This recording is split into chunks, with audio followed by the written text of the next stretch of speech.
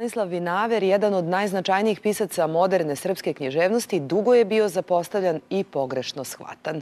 Tek 2012. objavljeno je prvo kolo njegovih dela koje je na sajmu knjiga proglašeno za izdavački poduhvat. Krajem prošle nedelje predstavljeno je i drugo kolo u izdanju službenog glasnika koje sadrži i fotografije iz vremena života ovog velikog vizionara.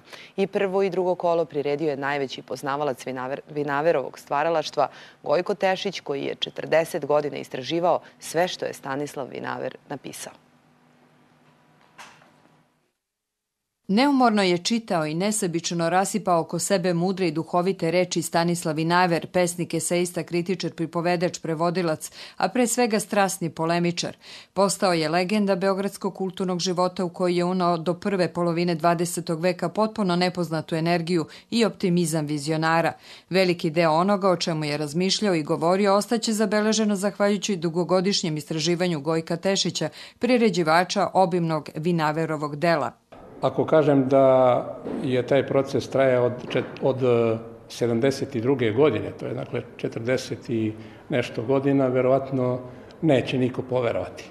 Konačna štampana verzija, dakle sabijeno, stegnuto, do maksimuma iznosi 12.810 stranica, uz napomenu da je najveći deo knjiga štampan po onom sistemu novinarske trake. Dakle, tekst e, se naslanja na tekst ili tekst ističe iz e, teksta. Stanislav Vinaver obsesivno se bavio jezičkim izrazom, tražio je način da se srpski jezik oslobodi epskog odnosa prema svetu.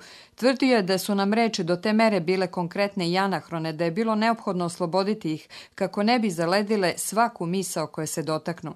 Novo doba slutio je traži nove izraze i nov slobodan jezik, a da bismo reč pomerili iz ležišta njenog prvobitnog tradicionalnog značenja, potrebno je uneti drugačiji ritam i melodiju.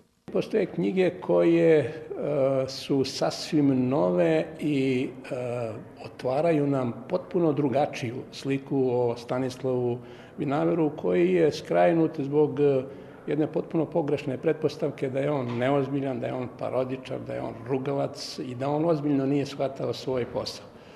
Duhoviti i nesputani vinaver osmislio je pojam nadgramatika koji oslobađa pesnika robovanja strogim pravilima gramatike.